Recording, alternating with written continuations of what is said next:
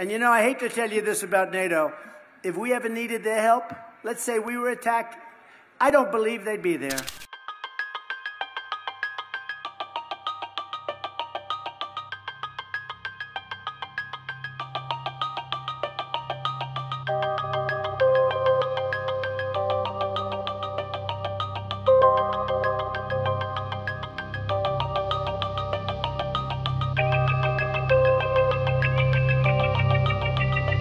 The so called border security deal Biden is gushing out and pushing out is not designed to stop illegal immigration. It's designed to continue the invasion of America while sending billions of dollars to Ukraine and other countries. And you know, Ukraine's an interesting case. People always want to know my feeling.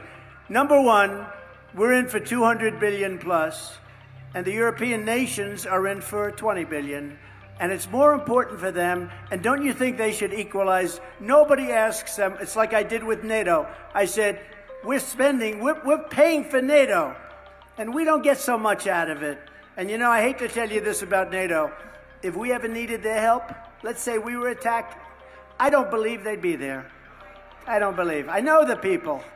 I know them. I can tell you country by country who would be there and who, but I don't believe they'd be there but I took care of NATO. I said, you got to pay your bills. If you don't pay your bills, we're not going to be there to support you. And the following day, the money came rolling into NATO. But the European nations, if you add them up, the economy is about the same size as the U.S., believe it or not. A lot of people are surprised. You add them all up, and uh, they are in for about $20 billion, and we're in for $200 billion because we're stupid. All we have to do is say pay. Nobody ever says to them pay. You don't even hear that. I say pay.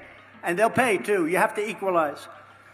As just one example of the border bill, the monstrosity that we're dealing with, two million illegals cross the border every single year in the past.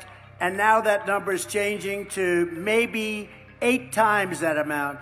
We cannot let this happen to our country. As the leader, of our party, there is zero chance I will support this horrible open borders betrayal of America.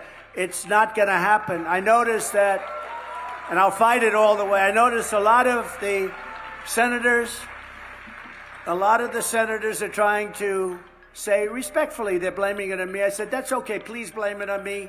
Please. Because they were getting ready to pass a very bad bill. And I'll tell you what, a bad bill is, I'd rather have no bill than a bad bill. A bad bill you can't have, and that's what was happening. In the House, as you know, the Speaker, who's, by the way, if, I think he's going to prove to be a very good Speaker. It's tough when you have a very small majority. Very tough. Mike Johnson, Speaker, he just said it's dead on arrival in the House. It's dead on arrival. We want either a strong bill or no bill, and whatever happens, happens.